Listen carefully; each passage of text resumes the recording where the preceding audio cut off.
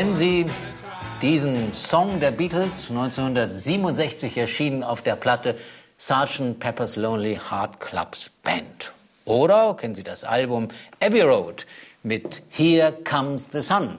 Oder das rote Album, da ist der Titel Yesterday zu hören. Und was hat das alles zu tun mit Kapitalmarktprognosen 2013? Herzlich willkommen zum Börsenplatz 5, dem Finanztalk, meine Damen und Herren.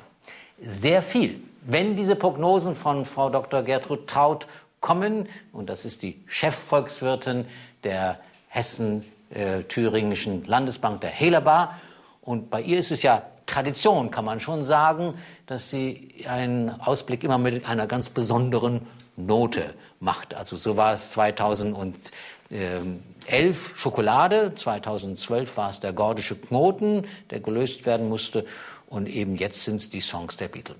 So, Frau Dr. Traut, jetzt müssen Sie nicht singen, aber Sie müssen uns erklären, wie Sie auf die Beatles gekommen sind. Es ist aktuell, aber auch im kommenden Jahr ein Jubiläumsjahr für die Beatles. Denn 62 äh, haben die Beatles ihre erste Singles veröffentlicht und 63 kamen sie mit ihrem ersten Album. Und heute sind sie im Prinzip so etwas wie die Messlatte äh, der Rock- und Popmusik. Mhm. Aber damals waren sie für viele beängstigend und erschreckend. Ihr Aussehen, auch ihr Habitus war schon für die damalige Zeit eher eine kleine Katastrophe. Und entsprechend hat mich das erinnert an die Zeit heute. Mhm. Alle reden von der sogenannten Euro-Krise, alle haben Angst. Aber wenn man sich erinnert, die Beatles haben schon 65 den Orden von der Queen bekommen, äh, Member of the British Empire. Also das, was viele Jahre Angst gemacht hat, mhm. wurde plötzlich dann zu einem Kult oder auch einer Messlatte für die Welt. Und jetzt stelle ich mir die Frage, ob das, was uns aktuell Angst macht, nämlich die Situation in der Eurozone, vielleicht irgendwann in ein paar Jahren die Messlatte für die Welt werden ja. könnte. Und Herr Draghi bekommt einen Orden, nicht von der Queen, weil die sind ja nicht bei der Währungsunion dabei, aber vielleicht von der Kanzlerin. Also, er wird noch mal schnell aufs Jahr 2012 zurück. Äh, da war ja auch Hilfe von Noten und Sie haben gesagt, äh, es muss jemanden geben, der den gordischen Knoten lösen kann. Hat Herr Draghi ihn gelöst? Also die beiden Enden, die gefunden werden mussten, das war Erreichen von Wettbewerbsfähigkeit und Zurückführen der Staatsverschuldung. Da beides sehr viel Zeit kostet und es nicht von alleine geht, hat Draghi schon angefangen, an, diesem, an dieser Suche mitzuhelfen. Also auch äh, im mhm. letzten oder im laufenden Jahr war er schon aktiv. Gut, ob der gordische Knoten schon ganz gelöst ist, äh, kann man das schon sagen oder zumindest äh, wird die Arbeit noch ein bisschen weitergehen? Also Draghi wird daran noch weiterarbeiten.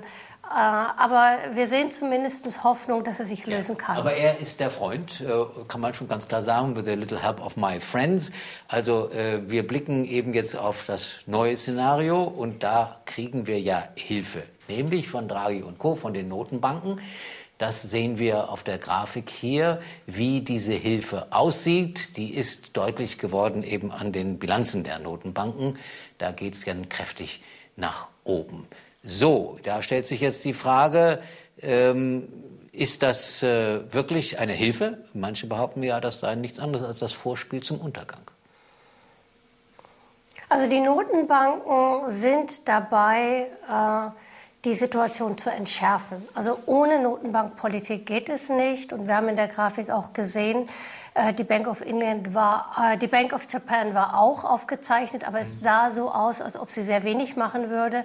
Wenn wir das zurückgehen in die Jahre 1990 fortfolgende, als die Krise in Japan war, da wurde die Geldpolitik viel zu spät eingesetzt, um Hilfestellungen zu liefern. Das machen die anderen Notenbanken jetzt besser, früher. Es gibt keine Garantie. Also wir haben auch ein Szenario, in dem es nicht aufgeht. Aber in unserem Hauptszenario sind die Notenbanken in den Industrieländern mit ihren unkonventionellen Maßnahmen hilfreich und sie sind die hilfreichen Freunde äh, um aus der Krise rauszukommen. Also Little Help ist dann ein bisschen Understatement. Das ist schon Big Help sozusagen.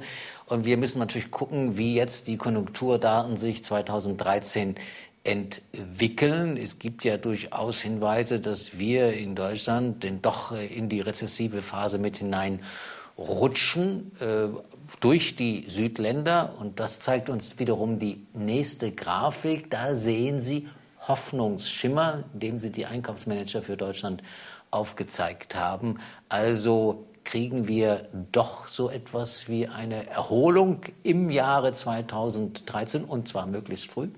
Also wir denken, dass die konjunkturelle Abkühlung etwas ist, was der Vergangenheit angehört. Wenn wir jetzt nach vorne blicken, sehen wir die ersten Konjunkturerholungszeichen und die kommen von der Weltwirtschaft. Wir sehen einen klassischen konjunkturellen Aufschwung. Die Euro-Problematik ist ein Seitenschauplatz, mhm. aber die konjunkturelle äh, Vorgabe, die kommt immer von der Weltwirtschaft. Und die Weltwirtschaft hat sich abgekühlt, weil mit zeitlichem Vorlauf die Notenbanken vor über einem Jahr äh, die Zinsen erhöht hatten. Mhm. Mittlerweile äh, sind die Zinsen in diesen Ländern wieder gesenkt worden, also auch gerade in den Schwellenländern gibt es Hilfe von den Notenbanken und klassisch mit Zinssenkungen und das wird bei uns einen Niederschlag finden, sodass wir einen klassischen konjunkturellen Aufschwung bekommen. Ja. Und auch mit Hilfe der Chinesen, das sind noch mal ein paar andere Freunde. Äh, wir schauen uns äh, die Entwicklung der Frühindikatoren in China an. China hat ja eine Zeit lang mit Inflation zu kämpfen gehabt, aber auch da hat dann die Abkühlung dazu geführt, dass sie wiederum Gas geben. 7,5 Prozent Wachstum äh, gelten jetzt als einigermaßen sicher, also eine sanfte Landung, aber die Frühindikatoren könnten sein, es könnte schon ein bisschen mehr werden.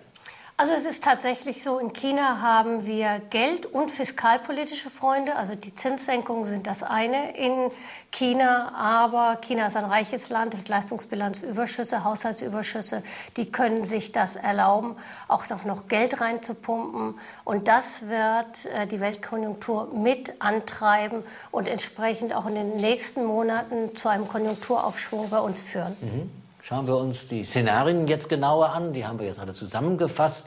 Und Ihr Hauptszenario ist ja With a Little Help of My Friends mit einer Wahrscheinlichkeit von 75 Prozent. Und wenn das so passiert, da haben wir ein paar Pfeile. Und was passiert dann? Also wir haben in diesem Jahr diesem Hauptszenario eine relativ hohe Wahrscheinlichkeit gegeben mit 75 Prozent. Mhm.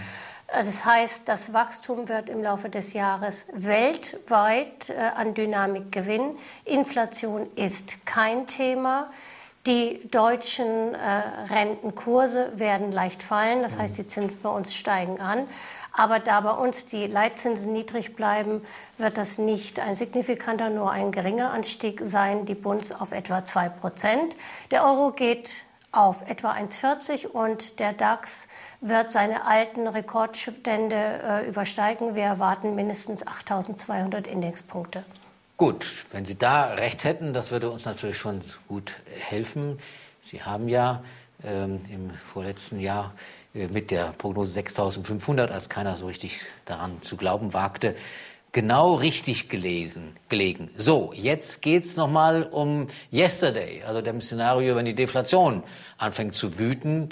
Äh, die haben Sie nicht so als wahrscheinlich eingestuft, aber äh, auszuschließen ist das ja alles nicht. Natürlich könnte es auch sein, dass das Vertrauen in der Welt schwindet, dass die Geldpolitik keine Wirkung hat, sowohl bei uns als auch in den Schwellenländern.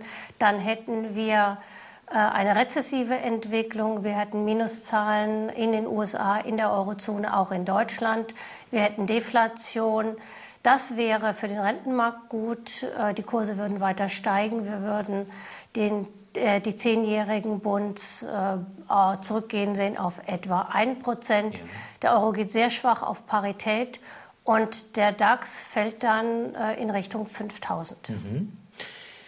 Aber es gibt ja noch ein drittes Szenario. Wir gucken noch mal auf unsere schöne Szenarientafel, um äh, das noch mal zu genießen. Auch da ist die Wahrscheinlichkeit ja nicht allzu hoch. Aber hier comes the sun.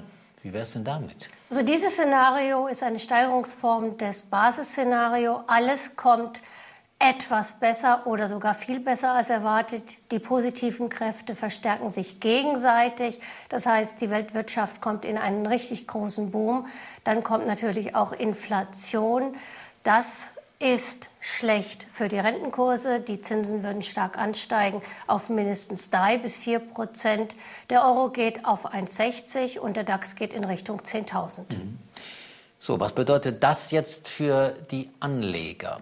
Die sich auf 2013 vorbereiten und die sagen, also das Szenario 75 Prozent, das finden wir ganz überzeugend. Wie sollen die agieren? Äh, das klingt so, als wenn man bei Aktien dabei sein müsste.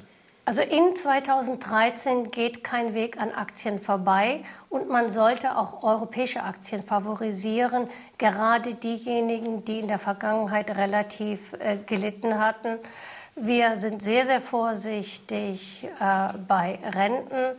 Wir sehen natürlich bei den Krisenländern äh, einen Rückgang der Renditen, aber bei klassischen Anlagen, also bei Bunds- und US-Treasuries, sehr große Vorsichtig. Die Liquidität wird auch andere äh, Vermögensklassen mit nach oben treiben. Also Gold hat noch ein bisschen Spielraum, ja. aber im Vergleich zu Aktien ist es definitiv ein Aktienjahr. Herzlichen Dank für Ihre Ausführungen, meine Damen und Herren. Also das Szenario, das Hauptszenario mit 75 Prozent, das geht in Ordnung, aber vielleicht, vielleicht kriegen wir ja doch diese 10 Prozent. Hier comes äh, the sun. Die Börse ist ja immer für Überraschungen gut und äh, naja, deswegen schließen wir auch diese Sendung mit Here comes the sun.